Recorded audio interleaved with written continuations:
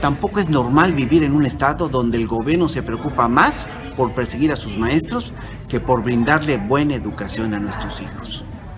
En ningún lugar del mundo se les ocurre tratar a los maestros como a los peores delincuentes y menos aun cuando todas y todos sabemos que los verdaderos delincuentes están libres y viviendo a todo lujo. Yo no quiero más maestros en las cárceles. Yo los quiero en las aulas, enseñando, haciendo su trabajo y haciéndolo cada vez mejor. Yo prefiero invertir en libros de texto para los niños y no en ministerios públicos para perseguir a la gente.